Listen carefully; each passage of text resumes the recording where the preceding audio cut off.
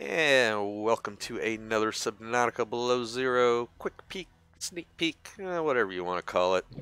Tonight, or today, got three. I don't think there's going to be a live stream tonight, just for the simple fact that these are just small, quick peeks, I guess. So I decided I'd do them all in one, give you a little, little bit longer quick peek tonight, as our stream will probably not go on. Anyway, we are in the Fabricator Cavern. And looky, looky. They are doing some work. I like the red color here. I don't know why that one's different than the rest, but they need to add more.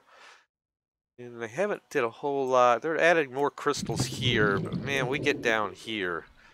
They have just packed in the crystals. Oh, look at this thing. Let it load in. Holy crap, look at them all. Still loading. There we go. Look at all the crystals they've been putting in here. Unreal. Still nothing down in the fab base itself, but man, they've been working on putting the crystals around. Oh, here's some more of the red. Yeah, I'm digging the red. They need to do some more of that. More of that. But yeah, all new crystals here. Well, some of them are new. It was never this packed before. All right, on to second part of the quick peek. Yeah, yeah, yeah. We know. Uh, you wonder why we are here, though. Well, um, let it load in. And there is the radio tower. We got smoke and sparks now. Pretty cool. I'm digging it. And the last, nothing major, but let's see. It is a new go-to. It is M White Key. So go to. And this is the new go-to.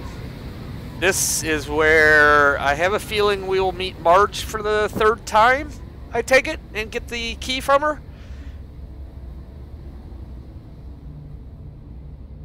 This is actually the cave that uh, goes into the shield base. It's still, if you go over here, it's still kind of hidden under this uh, fake snow that they've got. I don't know if we can get back far enough. Oh, they also changed this up too. They uh, made this more of a frozen river out of the cave from the Fabricator Cavern. Part of it's a cave, part of it's frozen river now. And, oh, there it is. There's the lair. As you can see, it's still, from above you can't see it. They still kind of have it hidden off, but it's two different uh, waterfalls, too. If you notice the one, we get up closer, I think it's a little bit, oh, no, I guess it's the same. They don't make it easy to get up here. Alright, well, I guess they want us to go the other way.